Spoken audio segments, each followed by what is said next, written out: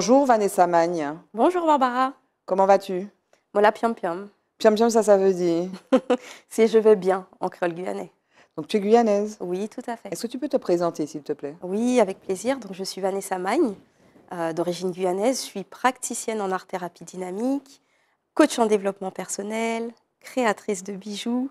Et puis, je suis aussi euh, globe-trotteuse, nomade, à la recherche de femmes diamants qui s'ignorent, en fait. À la recherche de femmes diamants qui s'ignorent. Oui. Alors, tu es une slasheuse, comme on dit maintenant. On Ah va faire un lot bagaille. Dans l'eau bagaille. Mais on va reprendre les choses par le début. Mhm. Tu es guyanaise. Tu vis en Guyane. Tu es née en Guyane? Alors, je suis née en métropole, d'origine guyanaise, donc mes deux parents sont de la Guyane. Et euh, j'ai ce fort, euh, ce fort bagage et ce fort euh, attachement aussi à la Guyane. Et alors, en France, tu, es- tu as grandi où? J'ai grandi en région parisienne, Villeneuve-le-Roi, Ok, près d'Orly, pour ceux qui prennent, qui prennent l'avion. d'accord. Mais alors, comment, comment, on fait, comment on vit son, ses origines guyanaises en région parisienne quand on est né, quand on a vécu? Là, tu n'as Mhm. jamais vécu en Guyane? Non, j'ai jamais vécu en Alors, Guyane. comment on vit ses origines guyanaises? Ben, on les vit à travers ce que nos parents nous transmettent. Ça veut dire que j'ai eu la chance d'avoir euh, un papa musicien, euh, chanteur, compositeur, donc qui a toujours euh, euh, œuvré dans son art en créole, créole guyanais. Donc il y avait beaucoup de monde qui venait à la maison puisqu'il composait pour différents artistes. Donc euh, ça veut dire que j'ai baigné dans cet environnement-là, créole guyanais, martiniquais, euh, haïtien, euh, guadeloupéen, etc. Donc j'ai baigné dedans, je l'entendais. Et puis une mère aussi guyanaise qui, elle, m'a transmis aussi de, de la culture guyanaise à travers euh, la cuisine parce que, euh, bon, elle sait... Le bouillon d'Awara. bouillon d'Awara, voilà. le fameux bouillon d'Awara qu'elle euh, qu'elle nous a fait goûter, découvrir. Alors quand j'étais petite, j'aimais pas trop. et puis en grandissant, en fait, c'est peut-être aussi ça, d'aller chercher plus loin dans ses racines et de, de s'ouvrir à d'autres saveurs aussi. Et, et du coup, euh, voilà, mes parents, de par euh, l'éducation et l'environnement dans lequel ils nous ont fait grandir, très créatifs et très liés à la Guyane, où la Guyane vivait à l'intérieur de la maison, euh, ça m'a permis d'être connectée en fait à mes origines, même si euh, je n'y ai pas vécu. Et j'y allais tous les 2-3 ans à peu près. Donc je maintenais aussi ce lien euh, avec la famille, avec la Guyane, les animaux. Alors, si tu devais, d'une phrase, nous dire la Guyane, tu dirais quoi? Hmm. La Guyane, c'est une terre euh, puissante, euh, source de grande créativité et de euh, diversité. La Mhm. diversité. Et c'est un grand pays. Ouais. Alors, j'ai lu dans ta biographie que tu avais du mal à trouver ta place dans ta famille. Ouais, quand j'étais Pourquoi petite. Pourquoi? En fait, je suis née dans une fratrie euh, de trois garçons, une fille. Euh, donc déjà, euh, dans, le, dans, la, dans la famille, je dirais, dans la fratrie, euh, en tant que fille, en tant que femme, trouver ma place. Donc j'ai eu une éducation très masculine à un certain endroit, même si j'étais féminine en apparence, très coquette. Ma Mhm. mère m'a transmis aussi ça. Mais au fond, dans mon éducation, dans ma façon de faire les choses, dans mon énergie, j'ai une énergie très masculine. Et euh, j'ai eu du mal à trouver ma place. Alors déjà, je suis arrivée dans cette famille, dans ce contexte-là, mais aussi j'étais très introvertie, très réservée quand j'étais plus jeune. Et quand j'ai commencé à faire mes études, euh, j'ai été très, j'étais très à l'écoute de l'extérieur, mais peu de l'intérieur. Donc ça veut dire que au départ, j'ai suivi des études où, à l'endroit où on me voyait. C'était quoi Alors j'ai fait des études de, euh, en marketing et communication. Alors au départ, j'avais fait une classe préparatoire aux grandes écoles. Euh, et là, en fait, je sentais que je ne m'écoutais pas. Donc certes, c'était prestigieux, mais euh, c'est comme si j'étais pas totalement connectée, déconnectée. Exactement. J'étais pas connectée à moi. Et c'est la première fois que j'ai osé sortir le petit orteil du cadre et de me dire, eh ben c'est pas là où je me vois. Et donc du coup, j'ai rejoint un- une voie un peu plus classique, je dirais, d'université. Mais là, je me suis sentie vivre. Et en fait, j'ai euh, obtenu mon master 2 en marketing et communication, où j'ai pu aussi avoir une expérience en alternance, donc mettre un pied dans le monde de l'entreprise et découvrir qu'est-ce que j'avais vraiment envie de faire. Parce que Mhm. quand on nous demande quand on est jeune qu'est-ce que tu veux faire, bon, c'est bien beau, il y a des mots, des noms qui nous font Mhm. rêver, mais en fait, le vivre, c'est- c'est autre chose. Bien sûr. Et j'ai pu euh, avoir cette opportunité de mettre un pied dans certaines entreprises et voir qu'est-ce qui me plaisait ou non. Et puis, bah, le hasard a fait que je me suis trouvée dans des entreprises liées au voyage. D'accord. Et donc, tu es nomade. Ça, Et je ça suis te nomade. constitue. Aujourd'hui, je suis aujourd'hui, nomade. tu es SDF, quoi. Exactement. Tu n'as pas de maison. J'ai plus de maison. Bon, mais là, en Martinique, par exemple, tu vis où tu... Alors, en fait, ce que je fais, ma façon de, de, de me loger, aujourd'hui, on a des plateformes qui, qui, existent, qui sont très faciles à Mhm. utiliser, Airbnb. Bien sûr. Euh, donc, quand je me sens l'élan d'aller dans un endroit, Tu vas. dans un pays, j'y vais. Et aujourd'hui, c'est très facile. J'ai mon application. Je regarde par rapport à mes critères, puisque j'œuvre aussi à distance. Mhm. Euh, donc, la luminosité, proche de la nature, ce que j'aime randonner. Donc, j'ai tous mes petits critères. Oui. Et ensuite, ça me permet de trouver un lieu qui sera mon lieu de vie sur le temps donné en Et général. là, par exemple, en reste, Martinique, c'est combien de temps? Euh, En Martinique, euh, un mois et demi. D'accord. Et alors, donc, tu fais, tu pratiques l'art-thérapie. Oui, Donc, c'est quoi ton art? Et puis, qu'est-ce que tu fais? Tu nous as parlé des femmes diamants qui s'ignorent. oui. Alors, qu'est-ce que tu fais avec ces femmes diamants qui s'ignorent Alors, euh, pour répondre à ta première question, l'art-thérapie, c'est une pratique qui est au carrefour, je dirais, entre le mieux-être et le développement personnel. Et mon, mon, mon média artistique, c'est la peinture. Donc, j'accompagne les femmes à ce qu'elles puissent utiliser la peinture en étant dans l'écoute de leur corps, de leur être. Donc, on prend des temps de connexion corps, de respiration. Euh, je vraiment, je les cocoune dans cet espace et je leur dis, OK, il n'y a plus besoin de penser à rien. C'est moi qui pense à tout pour vous dans cet espace et laissez-vous porter pour pouvoir être à l'écoute de tout ce qui se passe à l'intérieur d'elles, duquel elles sont peut-être un peu moins connectées dans leur quotidien, de par les obligations, les charges mentales, etc. Là, je leur crée un espace vraiment pour elles, pour qu'elles puissent être à l'écoute de leur intériorité. Et la peinture, alors pour certaines, elles me disent, oui, mais moi, euh, Je je sais pas peindre. je sais pas peindre, Je ne sais pas dessiner. je ne sais pas dessiner, je ne suis pas une artiste. Bah, c'est très bien parce que justement, il n'y a pas besoin de l'être. Il y a simplement besoin de pouvoir tenir un pinceau, ou même avec les doigts, en fait, tout, ma pratique est très ouverte. C'est simplement pouvoir utiliser la peinture et se laisser guider. Donc, je les plonge dans un espace où elles vont vraiment se détendre, se relaxer, et où le mental aura moins de place à juger, mais qu'est-ce que tu fais? Mais c'est pas beau. Non, vraiment à apaiser ce mental pour se laisser porter par le mouvement et se laisser porter par les couleurs, parce que les couleurs ont beaucoup, beaucoup de choses à nous apporter. Mhm. Et finalement, en fait, l'art est au fond de nous. Tout à fait. L'art est au fond de chacun d'entre nous, non? Ouais, et puis il a son. Il s'exprime de façon euh, singulière Mhm. pour chacun. Ça veut dire que la peinture telle que je l'exprime moi, quelqu'un d'autre l'exprimera différemment. Euh, et dans cet espace-là, donc c'est un espace non seulement de mieux-être, d'écoute de soi, il y a des choses qui remontent euh, liées à l'histoire pour pouvoir euh, en repartir un peu allégé, peut-être avec des, des- des espaces de conscientisation de certains sujets qui sont peut-être un peu délicats, des espaces de libération, parce qu'il y, a- il y a de la libération aussi corporelle, émotionnelle, des espaces de transformation, ça veut dire pouvoir transcender ce qu'on a vécu et le transformer en autre chose. Et dans cet espace-là aussi, ces femmes, en se connectant à la peinture, peuvent se découvrir un côté artistique. Et il y a certaines femmes que j'ai accompagnées qui, après ça, continuent la peinture, alors qu'au départ, elles me disaient, non, mais moi, la peinture.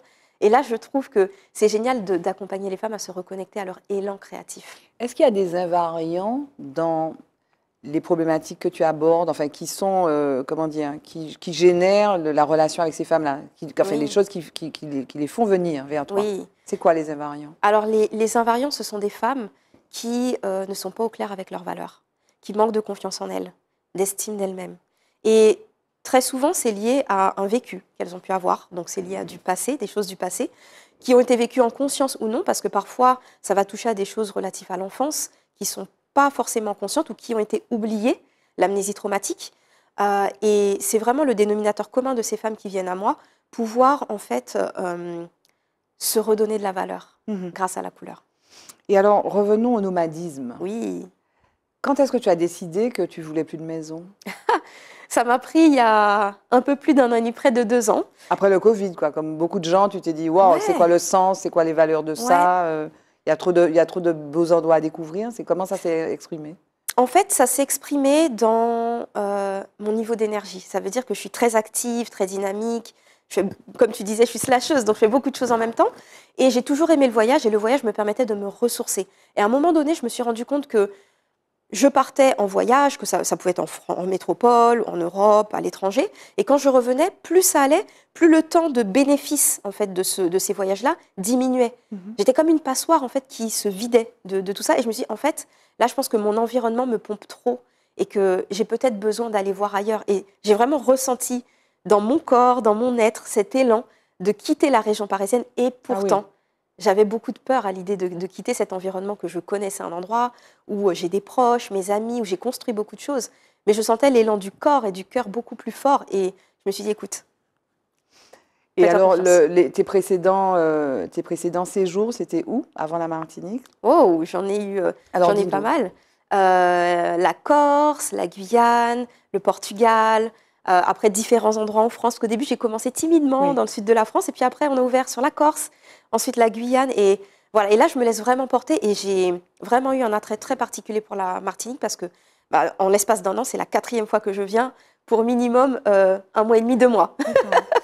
Mais, mais il y a l'aspect quand même matériel, parce qu'il faut se débarrasser donc euh, peut-être de ces peurs qui consisteraient à laisser les amis, Oui, l'absence d'ancrage, Ouais. euh, de toit sur la tête, mais il y a la partie aussi euh, matérielle, financière. Mhm. Tu vois, les gens, ils font des crédits pour acheter une, une voiture, une Mhm. maison. Toi, tu t'es débarrassé de ça, mais bon, Ouais. euh, il y a quand même une histoire de sous, quoi. Bah, en fait, l'activité que j'ai actuellement où euh, j'œuvre en distanciel, et ça c'est aussi le Covid qui nous a permis ça, Mhm. de pouvoir accompagner des personnes même en distance, fait que j'ai une activité qui tourne où que je sois dans le monde. D'accord. Euh, donc ça veut dire euh, au, au niveau financier, donc euh, j'ai ma source financière euh, de, de- de cette, issue de cette activité qui, qui est là. Euh, après, par rapport à tout ce qui est matériel, j'ai appris à être dans le minimalisme du coup. Il y a des objets dont je pensais avoir du mal à me Mais débarrasser. tu as changé ça? Tu as changé? Avant Oui. Oui, oui, oui, parce que oui. j'ai eu une éducation aussi très conservatrice. Et matérialiste Matéri- dans le sens où les objets, il y a de la valeur, Oui, ça, oui. ça, ça reconnecte à euh, papy qui a offert ça, Oui. à telle personne. Et en fait, j'ai appris à me dire, ok, je garde le souvenir à l'intérieur de moi et l'objet, je peux m'en séparer. Par exemple, tu ne prends pas de photos de l'endroit où tu vis? Ou tu- Toujours. Alors, ah, Tu prends des photos? prendre des Ah, photos. tu prends des photos. Toujours, toujours, toujours, toujours. toujours. En Mhm. fait, des photos, des lieux, des endroits, des moments. J'aime capturer ce que je vois et le partager aux personnes. Donc, tu, tu, tu, tu, te- tu te délestes. Donc, Ouais. tu, voilà, tu te nourris, tu t'enrichis, mais tu te délestes au fur et à mesure. Oui, et puis en fait, je suis dans l'instant présent, donc ça veut dire que même ma valise, pour venir 23 kilos, volo- volontairement, je ne prends pas plus. Ça veut dire que j'arrive comme je suis, avec tout mon matériel de création et pour pouvoir œuvrer. Je profite sur place de tout ce que le lieu peut m'offrir, mais je ne ramène quasiment rien, parce que de toute façon, il n'y a pas la place. Du coup, ça m'invite à être vraiment dans l'instant présent et profiter. Et tu n'as aucun lieu d'ancrage. Ta maison, par exemple, en région parisienne, elle t'est restée ou plus? Non, en fait, euh, actuellement, quand je repasse par la métropole, puisque mes parents y sont, euh, je, je repasse par chez eux, ça me permet de les voir, voir la famille. Mais euh, après, tu parlais d'ancrage. Oui. J'ai appris en fait à avoir un ancrage qui, où que je sois. Donc avec des techniques justement issues de ma pratique d'art-thérapie pour me sentir ancrée, Mhm. peu importe le mouvement, peu importe où je suis. Et alors, tu fais des bijoux? Oui, Et, euh, et le bijou, finalement, c'est aussi, ça permet de se connecter à quelque chose? Ah bien sûr, à soi. Et en fait, ce sont des bijoux que je crée pour les femmes. Donc pour les accompagner à se reconnecter à leurs ressources intérieures en utilisant justement les couleurs, puisque les couleurs sont aussi reliées euh, à, des, à différents sujets, à des ressources, à des ressources génériques. Par exemple, on peut avoir le bleu qui connecte vraiment la confiance, mais aussi à des ressources très spécifiques en fonction de l'histoire de chaque femme. Et en portant le bijou, on peut se dire, tiens, je me connecter avec cette couleur, je me connecte à la ressource de confiance en moi. Donc, j'ai cette conférence, cette intervention, je dois négocier mon salaire. Je porte ces, ces boucles d'oreilles, cette couleur, ça va me donner le courage et la force de me connecter à cette ressource et du coup d'être cette femme qui ose demander, par exemple. Mhm. Donc voilà moi comment je porte le bijou, comment j'accompagne les femmes en fait à, à choisir leurs bijoux, à les porter et à se connecter à la fois à leurs ressources intérieures, mais aussi à leur histoire parce qu'il y a une part d'histoire aussi dans ce que je crée. Mhm. La suite pour toi, c'est quoi? La suite pour moi, c'est euh, de pouvoir euh, euh, tisser vraiment le lien entre tout ce que je fais et tout ce que je suis, à la fois par le bijou dédié aux femmes, à la fois par l'art-thérapie que je dédie aux femmes, à la fois par le développement personnel où j'accompagne aussi les femmes à pouvoir percevoir l'extraordinaire en elles. Mhm. D'ailleurs, ta société, c'est Les Extraordinaires. Tout à fait. tes sociétés. Tout à fait. Mhm. Tout à fait. Donc c'est une structure que j'ai euh, que j'ai créée avec euh, mon frère Cannes, donc euh, en famille, et on a notre équipe avec nous. Et tu continues avec, parce que tu, as- tu avais créé avec lui une entreprise d'impression 3D. Oui, c'est ce qui m'a sorti du salariat. Ah. Merci. Et donc voilà, là aussi, tu t'étais lancé dans une aventure extraordinaire d'entrepreneuriat. Ah, mais était- totalement, c'était non totalement l'inconnu. conformiste. Non conformiste, parce Mhm. qu'en plus, c'était de l'impression 3D. Donc, euh, 2014, c'était vraiment les, les débuts. Et même pour moi, je me lance dans quelque chose d'inédit pour moi, mais aussi de tellement puissant en termes de reconnexion à, notre créativité et à la mienne aussi. Et c'est de là aussi qu'est née euh, ma marque de bijoux Adorness, parce que dès lors que je me suis connect- reconnectée à ma créativité à ce moment-là, ça m'a donné l'élan d'oser, oser créer des bijoux pour moi et pour les femmes pour qui ça résonnait. Donc, euh, donc ouais, c'était un bon marqueur pour moi. Le mot de la fin, ce serait quoi, Vanessa? Le mot de la fin, je dirais, moi, ce serait plus une question, si tu me permets, que, je t'en prie. que j'ouvre aux personnes qui nous regardent. C'est pour pouvoir oser, parfois, et quand on est issu de la culture afro-caribéenne, il y a beaucoup eu la notion de sacrifice. Moi, je sais qu'elle est beaucoup arrivée dans, dans, mon éducation. Et ma question pour, euh, pour vous, qui nous regardez, ma question pour toi, qui me regarde, c'est de savoir qu'est-ce qu'aujourd'hui tu sacrifies et que tu ne devrais plus sacrifier. Est-ce que c'est peut-être ton temps, un rêve, une ambition, un élan créatif Si tu réfléchis à aujourd'hui et que tu te dis, si demain c'est mon dernier jour, qu'est-ce que j'oserais faire que je n'ai pas encore fait jusque-là? Voilà, donc je te laisse avec ça et j'espère que ça te permettra aussi d'oser, sortir du cadre comme j'ai pu le faire et peut-être te découvrir une créativité que tu ignores jusque-là. Merci Vanessa. Merci Barbara.